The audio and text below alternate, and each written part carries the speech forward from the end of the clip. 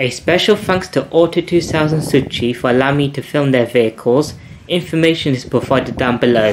Hello there, this is a full in-depth tour review of the 2023 Toyota Kijang Innova Zenix 2 litre in the V-trim the exterior, engine and interior. Here's the key fob for the Innova for all trim levels, keyless type. This has power foldable side door mirrors which has auto folding. Lock the car, side door mirrors fold in. Unlock the car, side door mirrors do fold out.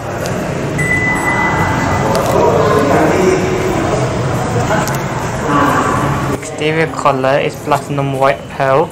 All trim levels of the Innova have keyless entry standard. The car is currently unlocked. To lock the car, press this indentation on the door handle. To unlock the car, simply grab the door handle.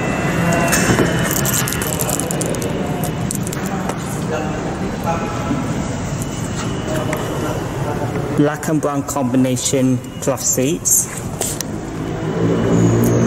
Unlike the two previous Innovas, they're not that high up. Three spoke lower watt multifunctional steering wheel. For transmission, the Innova gasoline comes with a CVT short for continuously variable transmission.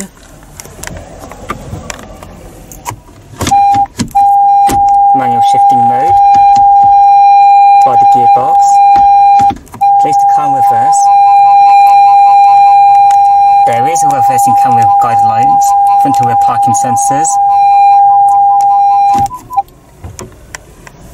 All Innovas come with electronic parking brake with the auto feature. The parking brake is currently engaged. To disengage, put your foot on the brake and push this button down. To engage it, simply pull it back up. Eco driving mode, button to deactivate the traction control. Now let's take a look at the exterior. Turn on the headlights.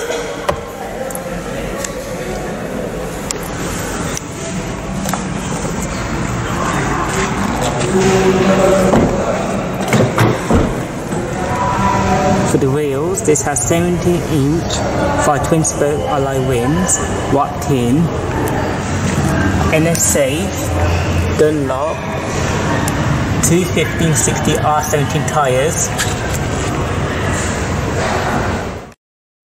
After almost 18 years of conquest, when Toyota sold the Kijang wagon, it was then replaced by the Innova in 2004, which spanned three generations. However, Indonesia retained the Kijang name for Innova. The Innova is a mid-sized MPV multi-purpose vehicle, however the third generation made to look like a unibody medium SUV, similar to Highlander SUV. This leads onto the third generation Innova featured in this video, was unveiled and launched last November 21st via a YouTube live stream event in Indonesia. Current trim levels are G, V and Q, with pricing starts at 490 million Indonesian rupiahs. The model list styling pack is available for V Hybrid and Q, costs almost 10 million rupiahs. In Indonesia, it is marketed as Kijang Innova Zenix. The latest Innova AG10 is based on a full unibody Toyota New Global Architecture platform. Unlike the two previous Innovas, which both used body-on-frame setup, the latest Innova shares its platform with the Corolla Cross.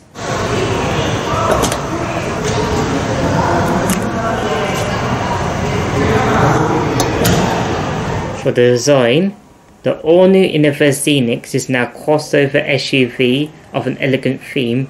I think it looks not only handsome, it is refreshing in white. I think this is the best looking Innova I had ever seen. For the front, there are automatic LED headlights and reflectors instead of projectors, connected to hexagonal honeycomb black grille, a 3D Toyota logo and trapezoidal black foglight housing blanked out on V-trim, merged with thin black piece in the center. For the side, the inner Innova is an SUV evident by black wheel arches. Other interesting details are an angled rear quarter window, and rear door window separation. Around the rear, there are LED rear lights connected to wraparound spoiler with gloss black side panels. The rear looks squared. Not to forget, the D pillar is intentionally sloped forward so the Innova is not an ugly minivan.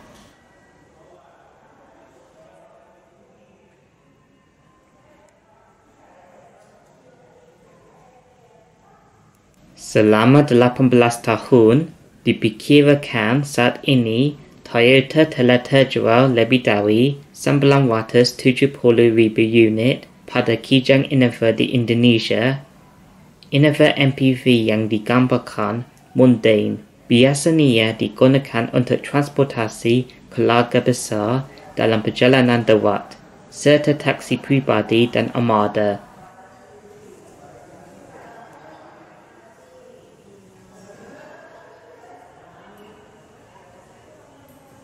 babak baru dimulai dengan Innova Zenix terbaru, bagian paling seru yang mesin hybrid dan fitur hiburan baru diam-diam datang.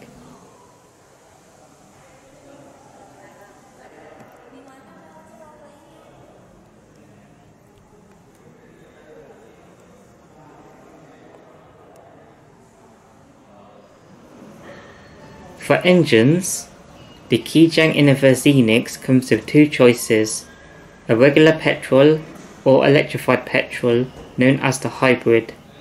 Unfortunately, there were zero Innova hybrid units in this showroom. For this video, is the Innova V petrol. Hopefully, I will make a video on an Innova hybrid. Under the bonnet is a 2 litre inline 4 16 valve, dual overhead cam, naturally aspirated petrol engine. This engine is equipped with dual VVTi, short for dual variable valve timing with intelligence, and direct port injection D4S system. This engine produces 174 horsepower at 6600 RPM and 205 Nm of torque between 4500 to 4900 RPM. All Innovas have a 52 litre fuel tank and comes with front wheel drive, which benefits from increased passenger space and allows the Innova to use electrified hybrid engines.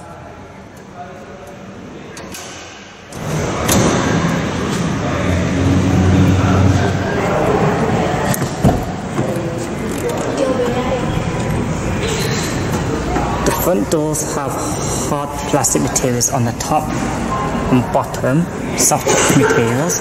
The doors are of a dual tone color, brown and black. For electric window controls, the driver's side window is automatic in both directions, and down the only side to get the automatic function. Central locking, window lock, mirror controls. This has power foldable side door mirrors.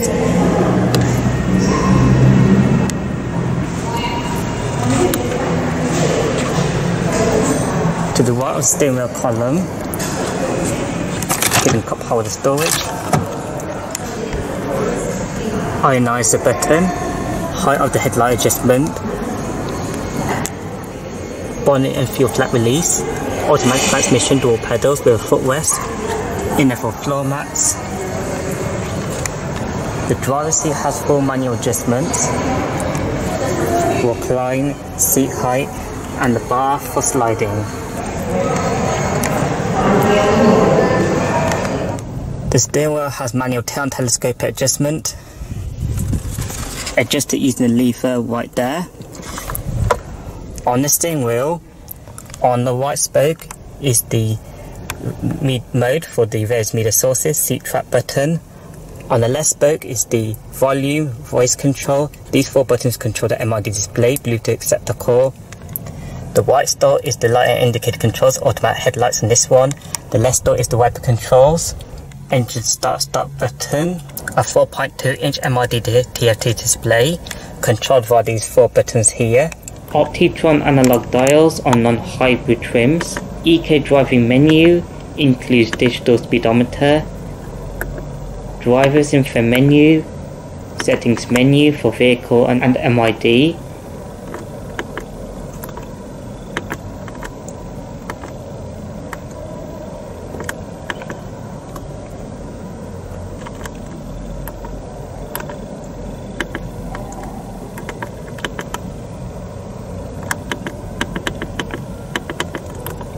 Lastly, warning menu for vehicle warnings. Single zone automatic climate control for the front, fan speed on the left, different zones, the rear aircon, temperature on the right, AC with circulation, front and rear defrost off and automatic mode, has light switch right above. For infotainment, the V-Trim has a 10-inch touchscreen which contains various options for entertainment and connectivity and sound is 6 speakers. Before I show the touchscreen head unit, on the bottom a slot for the USB input, voice control, volume, home and power, these are touch haptic buttons. This is the main menu.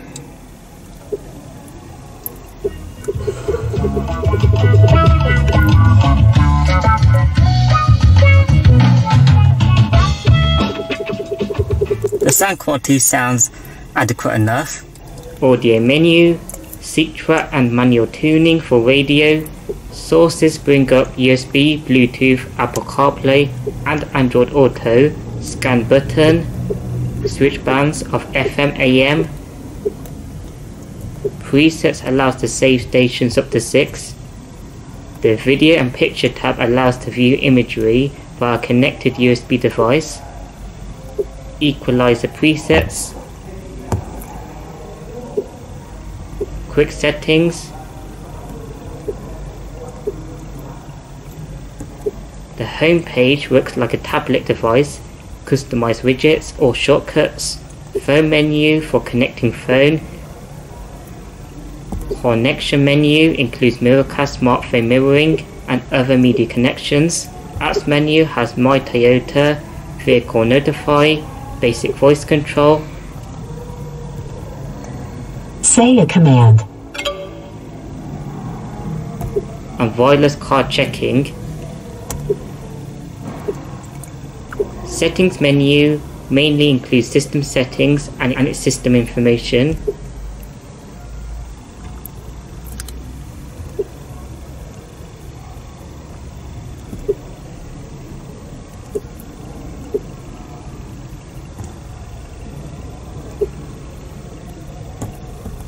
Think that's it for the touchscreen. The touchscreen is totally responsive to switch between pages and menus, although the shortcuts are not physical buttons. Two USB-C ports for charging, two cup holders, front center armrest made out of leather. Open it up is a huge storage area.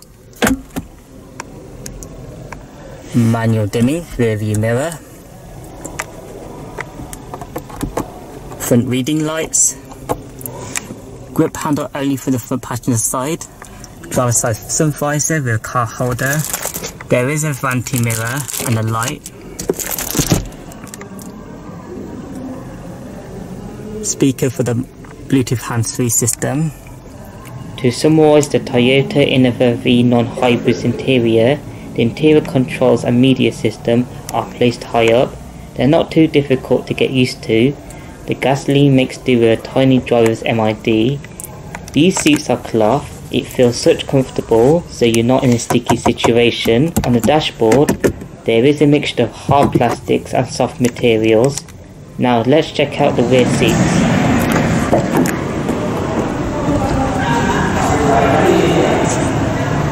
The rear doors have exactly the same materials as the front doors. Decent sized door pocket including cup holder for the rear doors.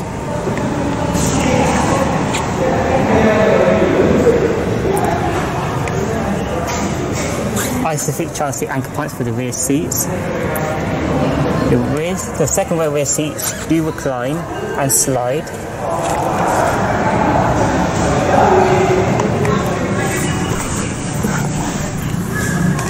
For rear seat space, I'm a short person I've got plenty of leg room and plenty of headroom. I believe tall people, six footers, will certainly be fine back in terms of the second row rear seat space. Dual 10 inch rear entertainment monitors for the rear occupants.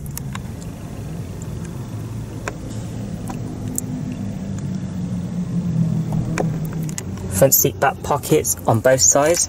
A hook carrying a maximum of 4 kilograms automatic rear climate control. This dims or turns off the rear ceiling light. Two USB chargers, flat transmission floor, rear center armrest with two cup holders, a, a LED ceiling light with grip handle with hooks, ceiling aircon vent along with a individual light on both sides.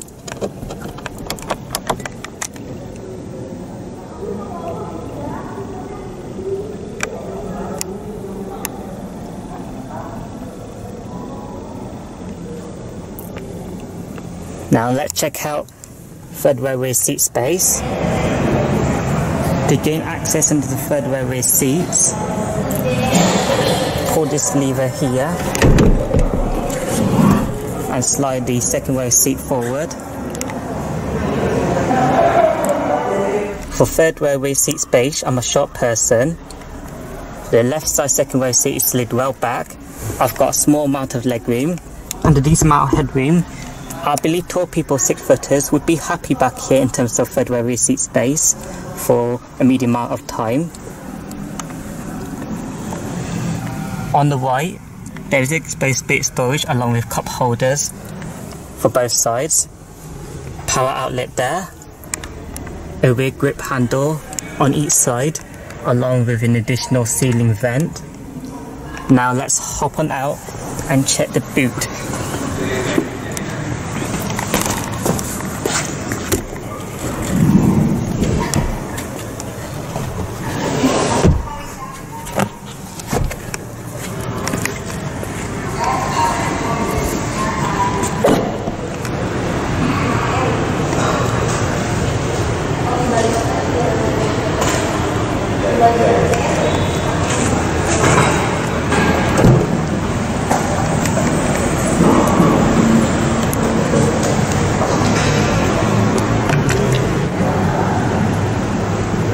Boot with all three rows of seats in place is of a huge size, of a great size. On the right is a boot light. On the left there's a additional emergency third headrest for here. Down below the boot floor is a bit of storage.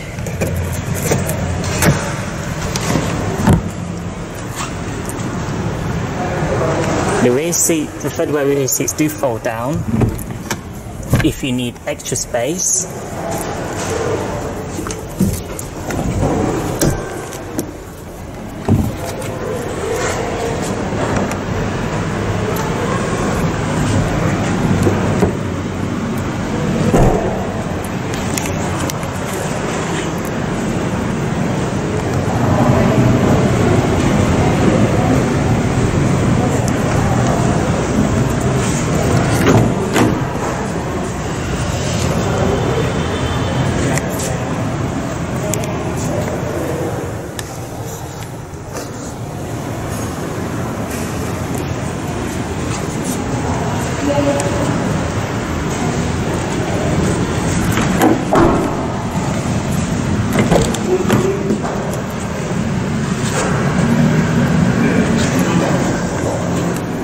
Front passenger seat has the same adjustments as the driver's side, except the seat height.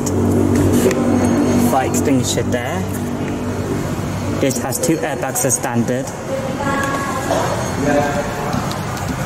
Illuminated area there, along with power outlet. Glove box, which is of a decent size.